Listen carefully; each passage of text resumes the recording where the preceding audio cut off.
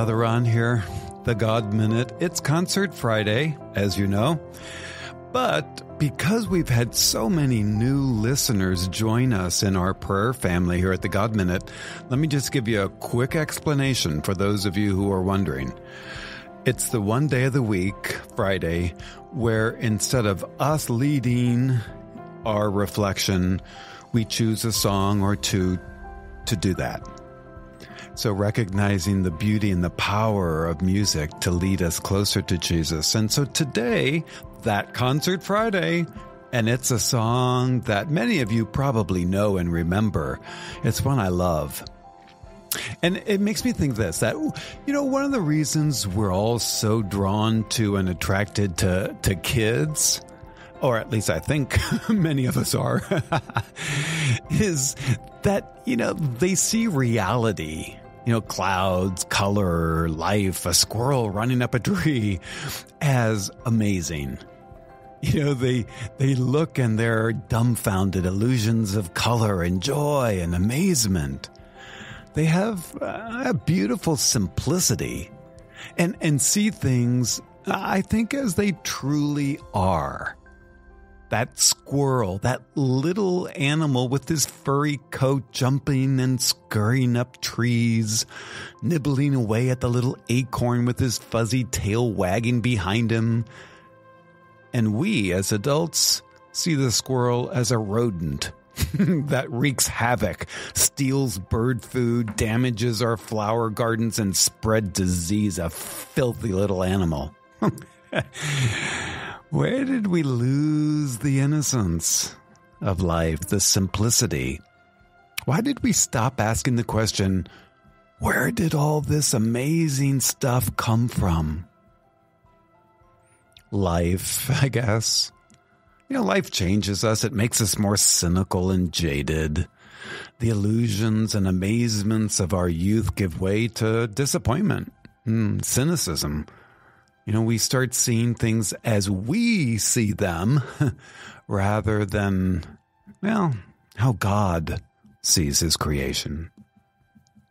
So, friends, this song today on Concert Friday is a lament to that innocence of life. It's a song about how our perception changes as life's realities shatter that optimistic illusions we had when we start out as kids. And the older we get, the more it seems we can lose that grandeur and wonder. But the thing I love about the song is the conclusion of optimism, where the verse goes, and still somehow it's life's illusions I recall. Do you know the song yet? It's life's illusions that I will remember and recall. It signifies that although you might be wiser and no longer deceived, seeing things as they truly are, it's actually the lovely illusions that stick with you in your memory and your heart. You know, like the way you felt when you were a child and saw wonderful shapes in the clouds that looked like ice cream castles or the dizzy feeling of falling in love. Can we recall that optimism again? I think it's why so many were attracted to Jesus because he saw everything in life as illusions of majesty and treasure, reflections of his Father who created it all.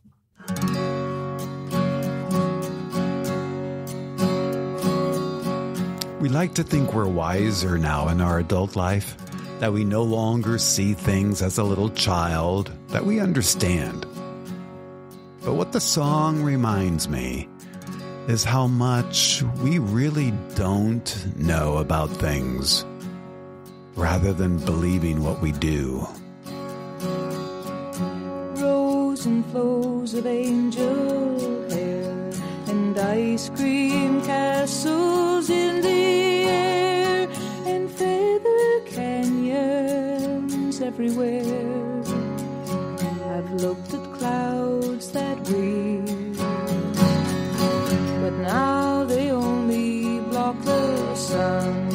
They rain and snow on everyone. So many things I would have done, but clouds got in my way.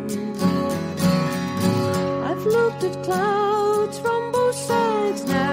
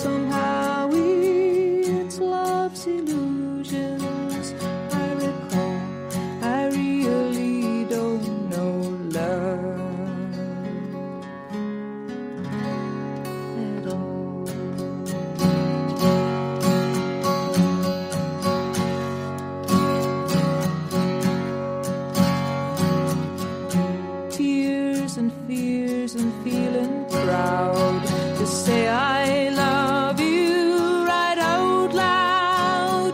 Dreams and schemes and circus crowds. I've looked at life that way. But now old friends are acting strange. They shake their heads, they say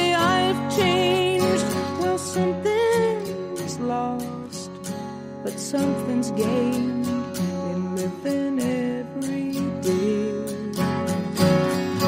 I've looked at life from both sides now, from win and lose, and still somehow it's life's illusions. I recall, I really